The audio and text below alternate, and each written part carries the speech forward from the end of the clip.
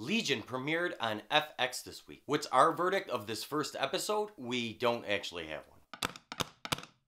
I was really highly anticipating the premiere of Legion because it comes from creator Noah Hawley. Now, Noah Hawley does the Fargo series on FX, and it's a really great show. Then I found something else about Legion. Marvel's also involved because David in Legion is a mutant. When I heard this, I became a bit discouraged about the show. If you watch the G Spot entry G Secret, I go through in detail there as to why I'm kind of sick of superheroes and burnt out on them. Still, because I think so much of Noah Hawley as a creator, writer, director, I checked Legion out. I really did enjoy the majority of the episode.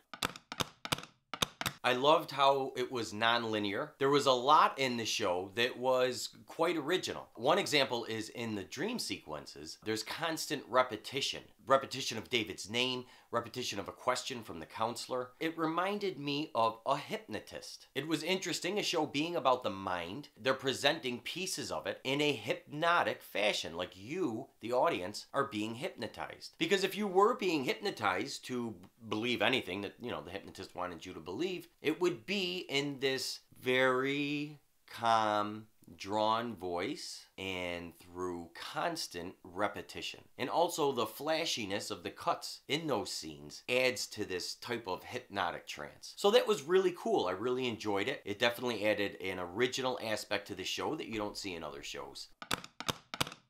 I like the topic of the show that the show is about the mind. The human mind is fascinating, right? And one of the things that we love to think about, talk about with the human mind is capabilities that our mind has, but we can't seem to utilize. And so we see these characters have the ability to utilize that, and that excites us because we all want to be so powerful and use our minds to their full ability, right? That type of plotline does interest me. So that was pulling me along. The interesting thing about our minds and this thought that we have unlimited potential in our minds if we could just figure out how to use it is that we will never be able to use the complete capacity of our minds. Our minds are limited to the physical four-dimensional world we live in. And they do have capabilities beyond our imagination, but those capabilities cannot be translated into our four-dimensional physical world. Our mind is very specifically designed to allow us to exist in this physical world. It's like 50% of its job job because this world is only one reality that exists. There's realities beyond our physical world that are right in front of us right now. If we had the full capability of our minds, these worlds that we can't see would be unmasked. And quite frankly, we would not be able to deal with it. We would mentally break down, much in the same way that we see David going insane from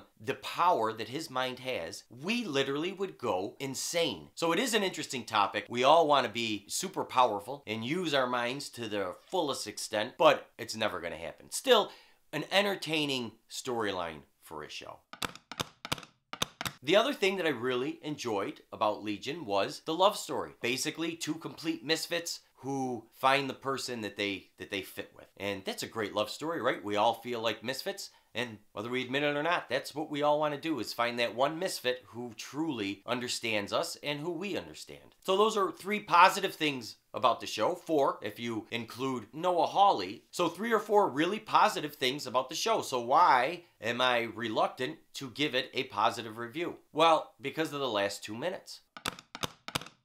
In the last two minutes, we got a very typical superhero fight scene with people running through bullets, waving their hands, and wishing people through the air. And it was all very boring and frustrating. So I really don't know what I think of Legion yet. And it is going to depend on how much of this bullshit superhero battle scenes we have to suffer through to get some good storyline out of the show. I will definitely check out the second and third episode. I'm definitely going to give it a chance because, like I said, I think a lot of Noah Hawley, but not really sure if Legion is going to make it.